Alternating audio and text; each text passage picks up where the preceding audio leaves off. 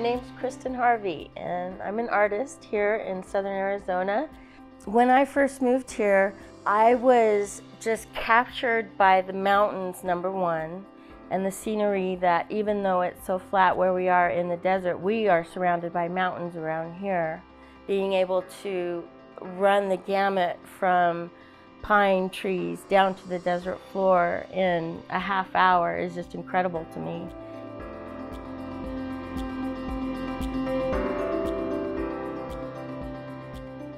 I grew up in a garden with my grandparents in California and we would play all summer long in their garden with beautiful crepe myrtles and sweet pea flowers and they had fruits and vegetables and we would harvest their walnut tree every year.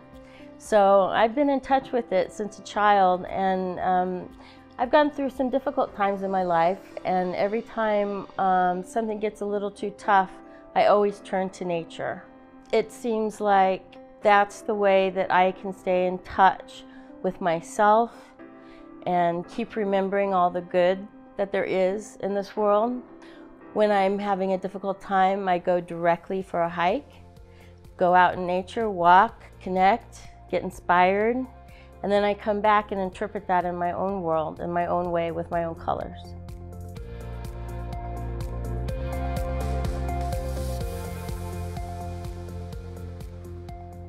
Mostly my work would be described as I'm a colorist first.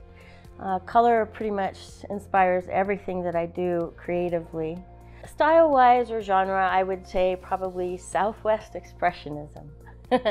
That's something that I tend to call it because it's um, outside of myself. It's not um, representational, but it um, allows the viewer to connect with it still as something from nature. And that's what's most important to me is that the viewer is able to connect with something and say, I recognize that, but it creates a completely different feeling than maybe they would get standing there in real life. I use the full spectrum. I've been a rainbow child ever since I was a kid when my father helped me paint a huge rainbow mural on my wall. And when I go into my work, I literally do set my palette up with the full spectrum of color, so I always have them available. Sometimes I will limit my palette because I'm going for a specific emotion or uh, feeling for the viewer to experience. But otherwise, I really just can't help but going into every color in my palette.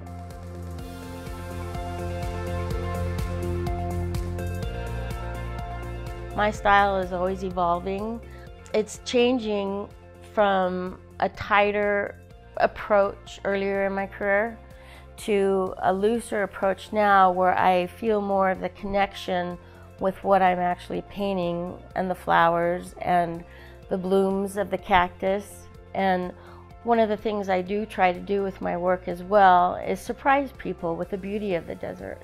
And that's what I really want to do with my work is to just bring that full circle, that joy that you feel in the outdoors.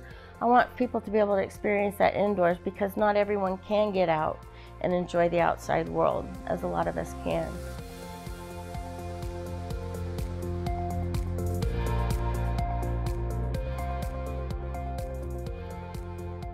My work is very closely tied to my mental health. When I go into my studio, I'm going there with the purpose of connecting again to that which makes me the happiest.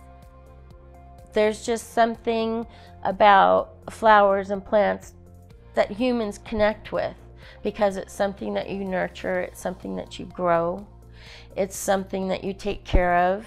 And in a way, I'm doing that with my art as well. I'm creating an environment, I'm creating a space and some elements that people can interact with and recognize, but kind of go beyond that recognition and more to the emotional aspects of it and how they connect with plants in that way. I connect with my work in that way and I hope that they connect with it in the same way.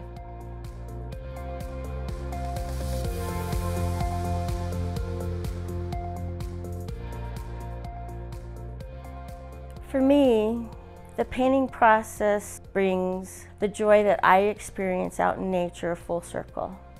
Having grown up and dealt with depression, you find joy where you can.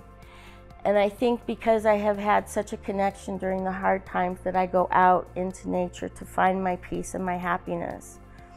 That's the most important thing that I want to do with my work is to spread that joy that I feel when I'm working because when I'm painting and I'm in my process, everything to me at that moment is happiness. And I think that's one of the things I enjoy most about when people do view my work or experience my work is saying that, you know what, that's the happiest room in my house now and I love going back in there. That's something to me that brings it full circle because it's creating joy for me in my life as I'm creating, but it's bringing it full circle with the people that experience my work and they tend to have that same joy response as well.